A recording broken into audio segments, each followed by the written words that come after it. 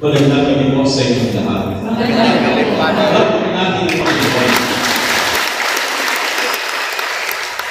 Siyempre, kung bakit po ay ay labing sa kalakas sa inyong kapatid, ang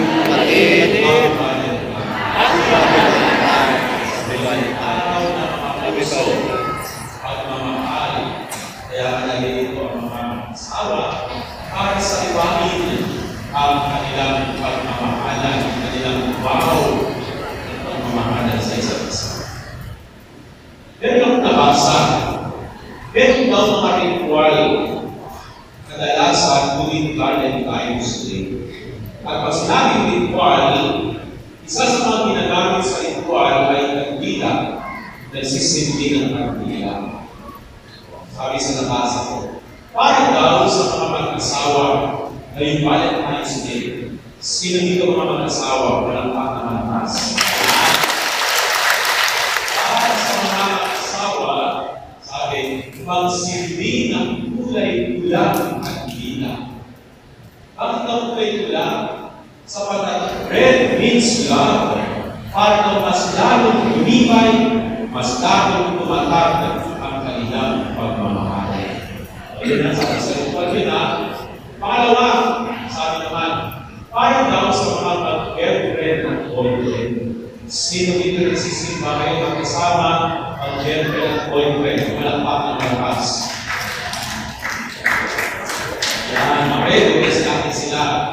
Para sa mga girlfriend at boyfriend, pagsindi ng kulay pink na kabila. Bakit pink? Para tumagal doon kanilang pagmamahalan at dumating ang oras na sila ay mamasal. Kaya kulay pink na kabila. Sorry. Pangatlo, para daw sa mga byudo at byuda. Sino dito ang byudo at byuda? Walang Valentine's Day, sabi nga, para sa mga byudo at byuda, byuda, pagsindi ng kulay blue na kandila. Bakit ang blue na kandila? Para makahanap pa ng magmamahal. Para makahanap pa daw, kulay blue. Ito pa, para daw sa mga single, sino dito mga single na nakapagpunan? Single, magsindi daw ng takol.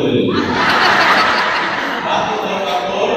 Para hindi lamukin sa kakaantay. At pinakahuli, para daw sa mga hanggang ngayon, wala pang pag-asa. Nawawalan ng pag-asa. Yung nawawalan ng pag-asa na may wala pa rin makita? Wala pa. Para sa mga nawawalan ng pag-asa, magsindi daw ng dinamita. Bakit daw dinamita? Para hindi ka na umaasa pa. Pero mabasa ko lang yan ha. Huwag gawin talaga para dinamita si dinamita. Valentine's Day. Bakit siya tinawag ng Valentine's Day February 14? Bakit February 14 Valentine's Day? Dahil ang araw ng puso. Valentine's Day, sapagkat ngayon din ang kapistahan ni Saint Valentine. Si Valentine, saan ko po yan? No? Sa Yes, Pipido.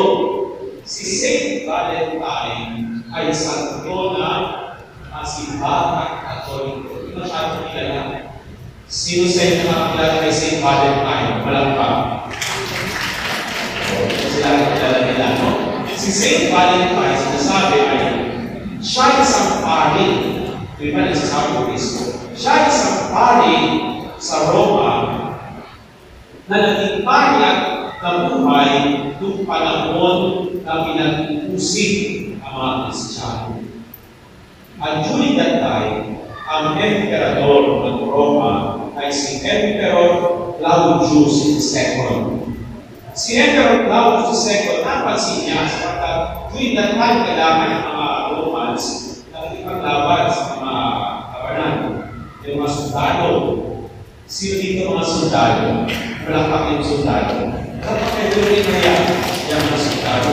Napansin ni Emperor Claudius, yung mga sundalo binata, mas malalakas kaysa sa mga sundalo may asawa.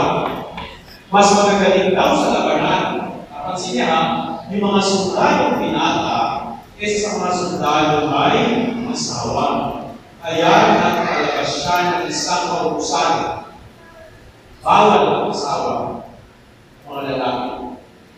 Bawal ang asawa. Kasi kailangan ng maglaban. Kasi pag may asawa naman, napansin niya, hindi nagiging ganun magaling sa labanan. Kaya, pinagkanya ng Diyos, eto na, si, si Valentine, si Mother Valentine, lihim niyang pinakasal. Yung binata sa dalaga. Secretly, kahit sa gitna ng ulos ng emperador, pag siya'y pari, eh kailangan ikasal, hindi nakasal niya, kahit bawal ito sa pari. Pero sa sakramento yun, mas mahalaga ang sakramento. Eto na, na-discover siya. Kinulog muna siya. Yung kinulog, habang inintay yung kanyang paglilitis sa kanya. At habang nakakulog, meron din isang judge paglilitis. Meron ka nagtutulak. At mahimala ang pagaling, divided by yung anak ng isang judge. Yung judge, nagpa-convert, naging katoliko. At dahil na mas lalong nagaling ang emperador, ang kanyang ginawa ay paling pinapupunan na ulo. At pininaganap, February 14, year 269. Kaya sa araw na ito ay sineselebrate natin ang Valentine's Day in honor of Saint Valentine, saint ng mga asawa.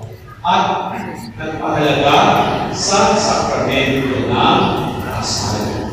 Kaya ngayong araw na ito, sasaliwagin namin ang sakramento ng kasal na yung tinaglaw. Amen? Amen.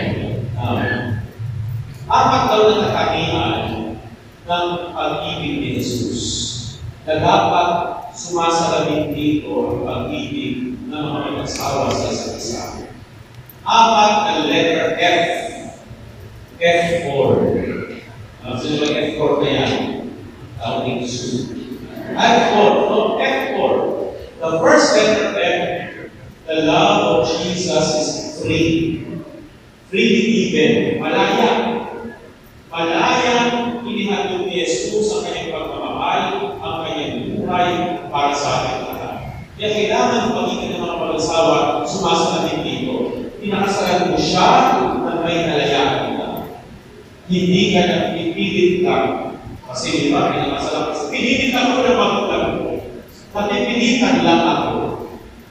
Kaya your love for your husband, your love for your wife is freely given. Ng sarili. Yun yung unang letter F. Pangalawang letter F, full. F-U-L-L. Sa Tagalog, buo. Ang pagmamahal ni Jesus sa ating lahat ay buong buo. Therefore, ang pagmamahal ng mag-asawa sa isa't isa, kailangan buong buo din.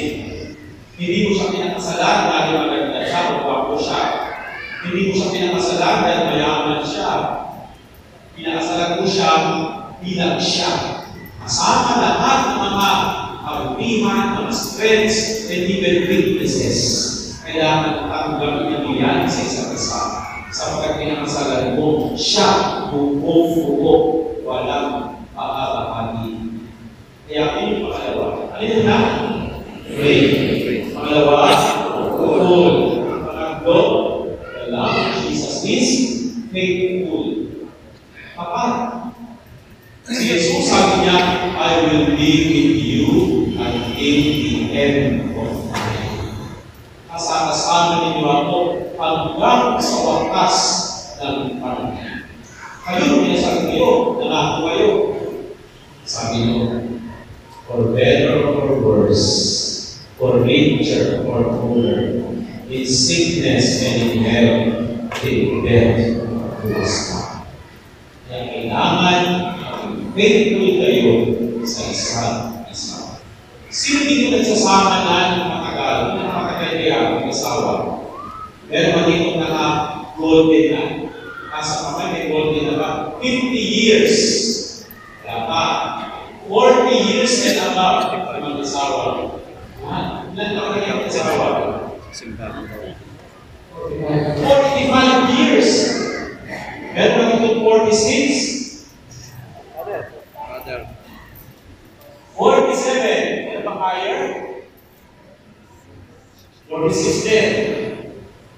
45. O 45, 46. 48. O, pinapitasan ko sa 48. Higher than 48. Meron ba? Wala na. Sige nga, kayo dito kayo nanay. Kayo may walang makadami sa nanay. For 48 years. Kakayanin niyo kaya 48 years. Sigurado ba? Sigurado mo ah. Sige ka, after 15 years, wala na. After 20 years, wala na. Sana, abutin nyo din. 48 years, dalawang taon na lang, golden na sila. Sa mundo na yun, magandang katanungan. May saysay pa ba maniwala sa forever? Is there a reason for us to still believe in forever? May forever na ba talaga? Ano sabi ko? Naniniwala kayo, patunayan niyo. Kayo magpapatunayan, hindi meron talagang forever. Sinananay tatay, 48 years. Kaya kami sa inyo, pinahamon ko kayo, mga mag-asawa. Patunayan natin, patunayan ninyo sa buong mundo na isa-isa pang maniwala sa forever. Be faithful to one another. Amen? Ano yung naman ulit? Three. Pangalawa, two. Pangatlo, faithful. Pangatlo, pangapat, fruitful. Nagbubunga. O, Kaya nga, pagmamahal ninyo, may mga bunga mga sukling. Diba? Sapagkat sa pamamagitan nila, yan ang larawan ng pag-ibig din ng Diyos. Sapagkat kayo ay nagiging co-creator ng Diyos. Sa pamamagitan ng pagmamahal, may bunga na ibigay. Kaya itong apat na katakinan ng pag-ibig ni Kristo na dapat sumalamin sa buhay ng mga asawa. Your love for one another is a free love, full love, faithful love, and fruitful love. Congratulations! Lahat na nangyayari at sa para sa inyo, naway mas lalo kami magkakalit pag-ibay ng inyong pagmamahalan sa hirap, sa ginawa, sa pusas, sa sa regaya. With Christ, put Christ at the center of your daily life. At sa gayon, tuloy na ba ang pag-ibay, ang inyong pagmamahalan, at manapagdaanan si Kristo at relasyon, hindi masisira, hindi maninitag, hindi mananatiling matibay at kalay. Congratulations and God bless you. Palakpakan natin.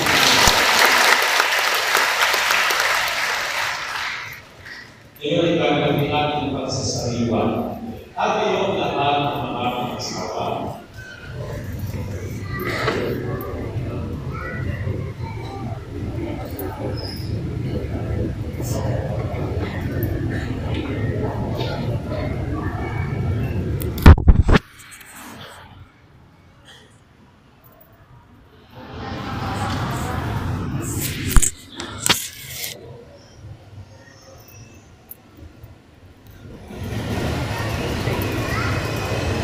mga minamahal ng kapatid, nais kayo bilang pagtanaw ng utang na loob sa Panginoong Diyos na sa inyo nagtataguyod sa inyong pagpupay bilang pinagpupunod sa kanyang pag-ibig, malasakit at pagpupo, sa kanyang pagpapalang palagi at pagbuwag. Pinagkatiwala niya sa inyo ang kanyang utang, mamuhay natin sa pagkakaisa, sa pagdadamayan, malasakit at pagpupo sa ginhawa at kalusugan ng ilang samahan, maging tapat sa pag-ibig ngayon o kailanman. sa iyong Panginoon sa pinagdalihan. Kaysa ninyo sa pagdalangin ang ating Kristiyano sa bayanan nang hindi kayo magpapala kung may kapalit. Kaya sa harap kayo ng Diyos at ng sambayanan, pagdating ng mga halal mo. At sa iwanan din ang pagtitipan sa banal na sakramento ng kasama. Ako kayo ng kamay, ng kamay, Harap kayo sa isa't isa. Harap sa isa't isa. Hawak ng kamay. Ang mga lalaki muna ang sasalita. Sige, sasabihin ng lalaki yung pangalan ng kanyang asawa. Sasabihin mo. Sa mahal ng Diyos at ng kanyang sambayanan. Sinasaliwang ang aking pasya Noong pinitipan kita, palihaging may bagay, sa pinapagkitawa, sa dusa at tigaya, ikaw lamang ang aking ibig, at ang aming karuto ng buhay, ngayon at kailanman. Pinaman ng mga babae ang sasalita, sabihin niyo pangalan ng asawa niyo, sa harap ng Diyos at ng kanyang sambayanan. Sinasabiwang ang aming pasya kung pinitipan kita maging aming asawa sa hirap at ng tawa sa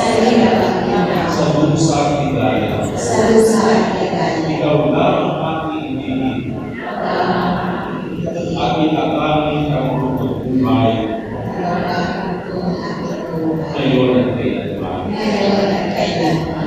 Sa kanyang dalawa pagkakasal, ang namin mapagkalita, ang namin mga Pagpalain po kami, nagsasariwa ng pag-iisang bayan. Kapag tinasin ko sa lahat ng oras, ang pagsasamahan namin dali sa oras sa puso't diwa. Nais hanap ng kaisa at naway hindi matatakot sa hirap at dusa, sa ginhawa